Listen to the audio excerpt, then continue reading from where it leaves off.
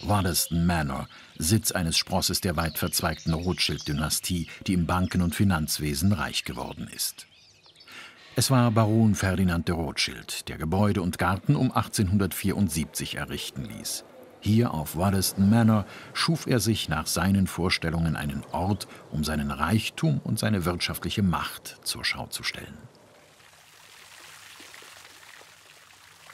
Aber es sollte auch ein Ort der Begegnung der höchsten gesellschaftlichen Kreise des viktorianischen Zeitalters sein, ein Ort des hochwohlgeborenen Vergnügens, denn Beziehungen und Freunde waren auch zu Herrschaftszeiten von Königin Victoria schon von großer Bedeutung.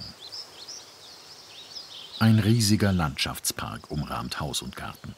Als Rothschild das Anwesen bauen ließ, war der Hügel noch kahl und leer. Gegen den starken Wind, der hier wehte, ließ Rothschild halb ausgewachsene Bäume einpflanzen, die er sich in der näheren Umgebung ausgewählt hatte. Geld spielte keine Rolle. Schnell musste es gehen und großartig aussehen. Und der Plan ging auf. Rothschilds Anwesen entwickelte sich schnell zu einem gesellschaftlichen Mittelpunkt der Reichen und Adligen.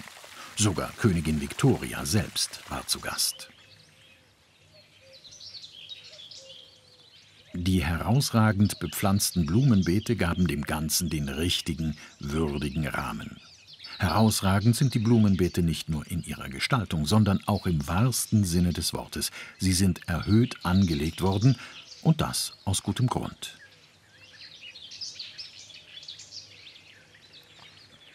Seit über einem Jahrzehnt arbeitet hier Chefgärtner Paul Farnell. Zusammen mit einem guten Dutzend Gärtnern hegt und pflegt er die Anlage im Auftrag der staatlichen Stiftung National Trust. Paul Farnell weiß nahezu alles über den Garten und die Besonderheiten seiner viktorianischen Entstehungszeit. Das hier ist eine typische erhöhte Bepflanzung. Man muss sich die viktorianischen Damen in ihren engen Korsetts vorstellen. Die konnten sich nicht zu den Blumen herunterbeugen und deshalb brachten die viktorianischen Gärtner die Blumen hoch zu ihnen. Die Damen wussten so viel freundliches Entgegenkommen sicherlich zu schätzen. Bewusst flach angelegt, aber der absolute Hingucker war und ist das Teppichbeet von Waddesdon Manor. Eine Besonderheit, damals wie heute. Die Muster werden allein durch die geschickte Auswahl und Positionierung der alpinen Pflanzen geschaffen. Bis zu 30.000 Setzlinge sind nötig, um ein solches Beet so kunstvoll zu inszenieren. Zweimal im Jahr wird das Teppichbeet neu bepflanzt, immer mit einem anderen Muster. Die Pflege ist aufwendig. Die Pflanzen müssen ständig zurückgeschnitten werden. Das Anpflanzen selbst geht dank moderner Technik heutzutage erstaunlich schnell. Ganz anders als damals im 19. Jahrhundert.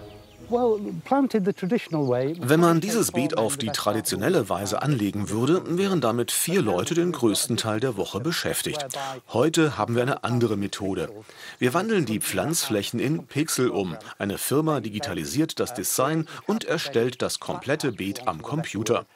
Vorgepflanzt in Kacheln wird es dann zu uns geliefert und zwei Männer bauen es an einem Tag zusammen.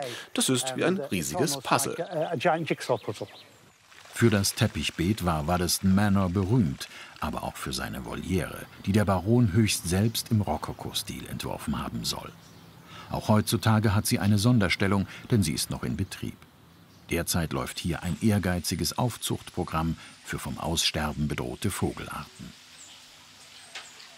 Und Paul will uns noch zu einem weiteren Lieblingsort führen, zur Buchsbaumwolke, einem schönen Beispiel für ästhetischen Formschnitt, aber nicht nur das, denn Baron de Rothschild und sein französischer Landschaftsarchitekt Elie Lenné haben sich auch hier einige Gedanken gemacht.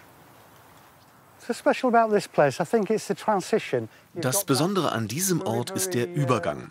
Wir haben die sehr formalen Gärten darüber und zu unseren Füßen ist das offene Parkland. Und dazwischen haben Sie die viktorianischen beschnittenen Buchsbaumhecken, beschnitten in Wolkenform. Das sieht fast naturalistisch aus. Und dann haben wir die informelle Bepflanzung um diese Skulptur herum. Ich finde, dieser Brückenschlag vom formalen zum natürlichen Garten ist absolut perfekt gelungen. is, is, is absolutely perfect. Waddesdon Manor gilt als einer der bedeutendsten viktorianischen Orte Großbritanniens.